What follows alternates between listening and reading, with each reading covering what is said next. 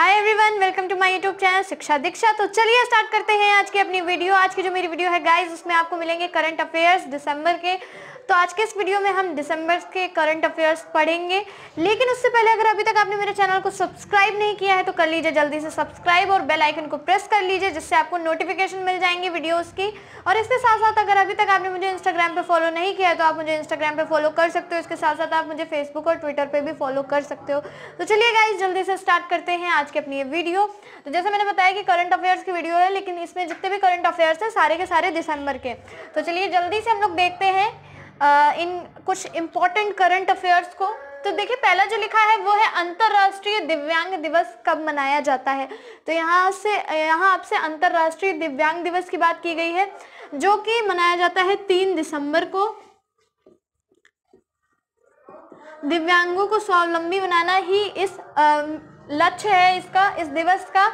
तो और ये मनाया कब जाता है? तो डेट है तीन दिसंबर, ठीक है? नेक्स्ट देख लेते हैं।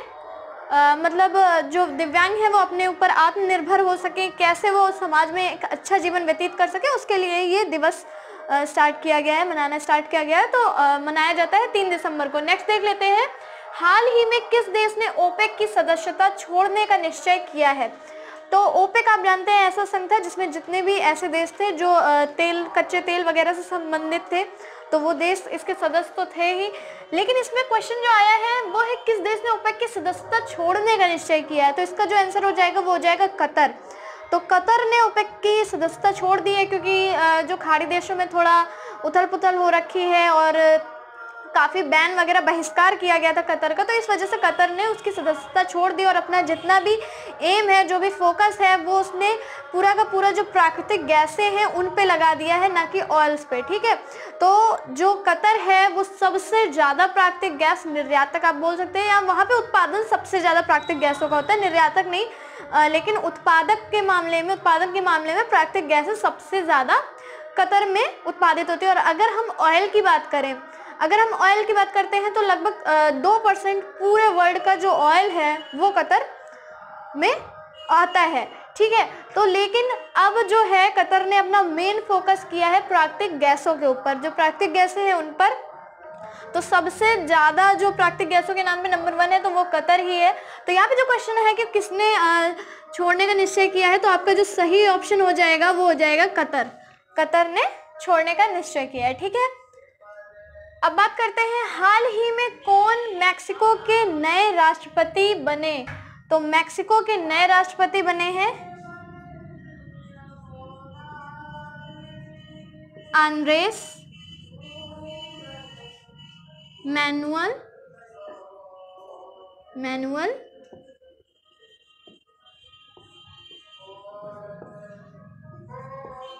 Lopez Obrador.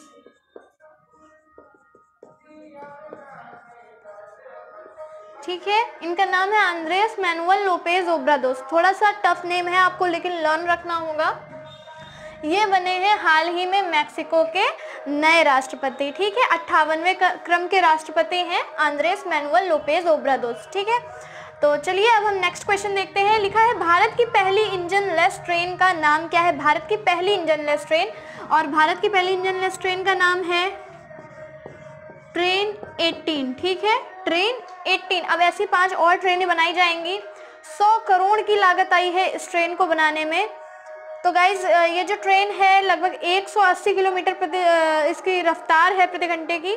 और इसके साथ साथ ही अब ये शुरू भी कर दी गई और ऐसी पाँच मैंने बताया कि और ट्रेनें बनाई जाएँगी। सवाई माधोपुर माधोपुर से ये ट्रेन स्टार्ट की गई है, ठीक है? सवाई माधोपुर जो आपका स्टेशन है, वहाँ से, ठीक है? तो ये है भारत की पहली इंजन लेस ट्रेन, ठीक है? ट्रेन 18 नेक्स्ट क्वेश्चन देख लेते हैं। एफएसएसएआई के हार्ट अटैक रिवाइंड अभियान का उद्देश्य क्या है? तो सिंपल सी बात है हार्ट अटैक रिवाइंड अभियान का उद्देश्य है तो कुछ हार्ट से संबंधित ही होगा। तो गाइज़ मैं बता दूँ, आप जानते हैं, जो ट्रांस फैट होता है, वो दिल के लिए बहुत ही घातक होता है। और इस, ये जो अभियान है हार्ट अटैक रिवाइंड अभियान, इसका उद्देश्य यही है कि हमको, भारत को, समझ लीजिए ये जो जितना भी हम लोग ट्रांसफैट यूज़ करते हैं, उससे मुक्त बनाना है।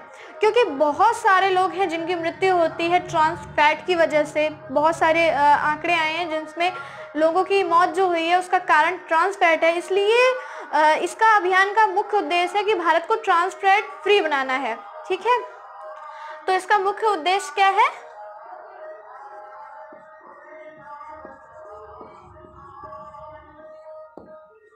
ट्रांसफैट फ्री इंडिया, या आप लिख सकते हो ट्रांसफैट मुक्त भारत, ठीक है? कुल मिला के ट्रांसफैट का उत्पादन कम से कम, बिल्कुल मिनिमम ठीक है? चलिए अब नेक्स्ट देख लेते हैं। हाल ही में भारत का वित्त सचिव किसे नियुक्त किया गया? हाल ही में भारत का वित्त सचिव किसे नियुक्त किया गया? तो आइए जानते हैं किसे नियुक्त किया गया। देखिए, नियुक्त किया गया अजय नारायण झा को। अजय नारायण झा, ठीक है? तो ये आईपीएस सॉरी आईएएस अधिकारी रह चुके हैं मणिपुर के। और इन्हीं को अभी जो है, भारत का वित्त सचिव नियुक्त किया गया है, ठीक है? तो चलिए नेक्स्ट क्वेश्चन देख लेते हैं। भारत और जापान के बीच शिन्यू मैत्री 2018 शुद्ध सॉरी युद्ध अभ्यास किस स्थान पर शुरू हुआ? तो मैंने आपको बताया था कि भारत और जापान के बीच जो युद्ध अभ्यास होता है, मैत्री, उसको आपने नाम के बारे में पढ़े होंगे कि उनके अलग अलग नाम होते हैं। मैंने एक वीडियो भी बनाई थी, जिसमें मैंने बोला था कि कुछ इंपॉर्टेंट नेम्स होते हैं जिनको आपको लर्न करना होता है। लेकिन यहाँ पे देखिए, मैत्री लिखा है, आगे शिन्यू लिखा है तो ये पूरा नाम जो अब की बार का है, वो शिन्यू मैत्री है, ठीक है? शिन्यू मैत्री 2018 युद्ध अभ्यास किस स्थान पर, यहाँ आपसे जगह पूछी गई है कि कहाँ पर शुरू हुआ है तो जगह है आपकी आगरा। आगरा पे ये जो युद्ध अभ्यास है, वो स्टार्ट हुआ है, ठीक है? तो दोनों देशों के जितनी भी सेनाएँ हैं, जो इस अभ्यास में भाग लेंगी तो उनका आपस में लक्ष्य यही होता है कि वो एक दूसरे के युद्ध अभ्यास को सीखें, किस तरीके से युद्ध कलाएँ उनकी होती हैं क्या क्या नई नई चीज़ें होती हैं तो सब एक दूसरे देशों की ये सारी चीज़ें जो होती हैं, आपस में कन्वर्ट होती हैं, सीखने की क्षमता डेवलप होती है एक दूसरे से तो ये जो युद्ध अभ्यास है, इसीलिए होता है। चलिए अब नेक्स्ट देख लेते हैं। देखिए, लिखा है I S F I S S F की जज समिति में शामिल किए जाने वाले पहले भारतीय कौन है? तो यहाँ से शूटिंग से रिलेटेड क्वेश्चन है ये। तो इनका नाम है पवन सिंह। ठीक है? ये I S I S S F की जज समिति में शामिल किए जाने वाले पहले भारतीय हैं। आपको नाम लर्न करना होगा पवन सिंह। ठीक है? नेक्स्ट क्वेश्चन है, भारतीय रिज़र्व बैंक के नए गवर्नर बने। बहुत इंपॉर्टेंट क्वेश्चन है। उर्जित पटेल थे। उर्जित पटेल के बाद जो अब बने हैं आप लोगों को आता ही होगा, लेकिन फिर भी अगर नहीं पता है तो इसको लर्न कर लीजिए। शक्तिकांत दास। ठीक है? तो आरबीआई के नए governor Shaktikanta Das. Next question देख लेते हैं। अग्नि फाइव मिसाइल का निर्माण किस संगठन द्वारा किया गया है? तो अग्नि फाइव मिसाइल का निर्माण किया गया है डीआरडीओ द्वारा। ठीक है? डीआरडीओ द्वारा। और ये सफलतापूर्वक इसका आ, आ, किया गया है परीक्षण। और कहाँ से किया गया है? ओडिशा के अब्दुल कलाम द्वीप से किया गया है। ठीक है? डीआरडीओ द्वारा। इसका निर्माण किया गया है अग्नि फाइव मिसाइल का। और चलिए नेक्स्ट देख लेते हैं, विश्व बैंक के अनुसार भारत को कितनी प्रेषण प्रेषण राशि मतलब रेमिटेंस ठीक है? विश्व बैंक के अनुसार भारत को कितनी प्रेषण राशि प्राप्त होगी इस बार? ठीक है तो इस बार का डेटा पूछा गया आपका 2018 का। तो देखिएगा इस प्रेषण राशि यानी कि रेमिटेंस का मतलब होता है हमारे जो भी नागरिक हैं, जो कि इंडिया के इंडिया के निवासी हैं, लेकिन वो दूसरे देश में नौकरी कर रहे हैं कहीं और रह रहे हैं किसी दूसरे देश में तो वो जितनी भी राशि इंडिया को भेजेंगे, वो उनका रेमिटेंस है। तो वो रेमिटेंस भारत को मिल रहा है 80 अरब डॉलर का, जो कि सर्वाधिक है। ठीक है? 80 अरब डॉलर। इसके बाद आपका चाइना, फिलीपींस वगैरह, ये सब हैं। लेकिन जो ये भारत को है, वो बहुत ज़्यादा ही मिल रहा है। आप देख सकते हो 80 अरब डॉलर का रेमिटेंस मिल रहा है भारत को। ठीक है? तो ये एक अच्छी चीज़ है और लर्न करने वाली चीज़ है, सर्वाधिक मिल रहा है। नेक्स्ट देख लेते हैं। देखिए, लिखा है, अंतर्राष्ट्रीय पर्वत दिवस 2018 की थीम क्या है? देखिए, पर्वत बहुत ज़्यादा ज़रूरी है, हमारे एटमॉस्फेयर के लिए बहुत ही ज़्यादा ज़रूरी है। तो इस वजह से पर्वतों के लिए भी कुछ नया स्टार्ट किया गया। तो अंतर्राष्ट्रीय पर्वत दिवस जो है 2018 उसकी थीम है, पर्वत आवश्यक है। ठीक है? उसकी थीम क्या है? पर्वत आवश्यक है। ठीक है?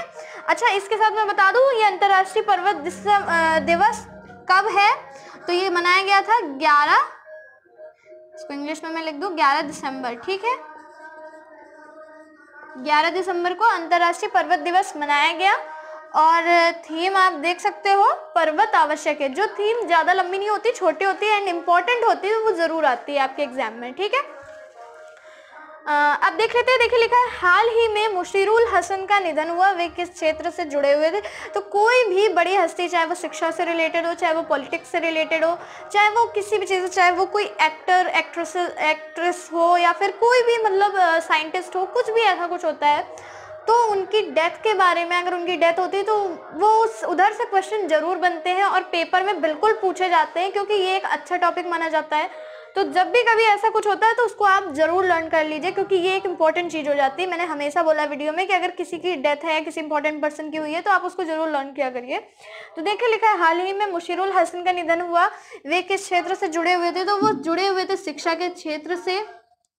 एक इतिहासकार तो थे ही, साथ ही साथ जामिया मिलिया इस्लामिया कॉलेज के पूर्व वाइस चांसलर भी थे। तो इनका निधन हुआ, इन्होंने काफ़ी बुक्स लिखी हैं अच्छी अच्छी और साथ में ऐसी कुछ बुक जो हिस्ट्री से रिलेटेड हैं इंडिया की हिस्ट्री के बारे में बताती हैं, ऐसी कुछ बुक्स लिखी हैं इन्होंने और ये जुड़े हुए थे शिक्षा के क्षेत्र से और मैंने बताया कि कहाँ के जामिया मिलिया इस्लामिया कॉलेज के पूर्व वाइस चांसलर थे। तो गाइज़ आज की जो हमारी वीडियो थी, उसके सारे के सारे क्वेश्चन मैंने बता दिया आई होप आप लोगों को क्लियर हो गया होगा सारा। कुछ और बहुत ही आ, मैंने कोशिश की है कि बहुत ही सिलेक्टेड क्वेश्चन रखूँ जो बहुत ही ज़्यादा इंपॉर्टेंट है। अभी दिसंबर के मैं एक वीडियो और लाऊँगी जिसमें दिसंबर का और डेटा कंप्लीट करने की कोशिश करूँगी। हो सकता है दो वीडियो लाऊं दिसंबर के लिए क्योंकि बहुत कुछ इंपॉर्टेंट हुआ है इस दिसंबर में। उसके बाद तो 2019 स्टार्ट ही हो जाएगा। और अगर हो सका तो मैं लाऊँगी। एक या दो वीडियो, वरना फिर आपका जनवरी से वीडियो लगातार आपको महीने में लगभग दो से तीन, मैं कोशिश क्या करूँगी, दो तीन वीडियो तो कम से कम आपको मिल जाए, जिसमें आपका पूरा मंथ का डेटा हो। तो क्योंकि मैं रेगुलर वीडियोस नहीं ला पाती तो कम से कम आपको मंथली मैं उस पूरे मंथ की दो तीन वीडियोस तो दे ही सकूँ करंट अफेयर्स की। तो गाइज़ इसी बात के साथ आज की ये वीडियो यहीं पे एंड होती है। ये वीडियो कैसी लगी मुझे कमेंट में ज़रूर बताइएगा। वीडियो को लाइक करना मत भूलिएगा। और सभी के साथ शेयर कर दीजिएगा। तो चलिए मिलते हैं अपनी नेक्स्ट वीडियो में। तब तक के लिए सीखते रहिए, पढ़ते रहिए, शिक्षा दीक्षा के साथ।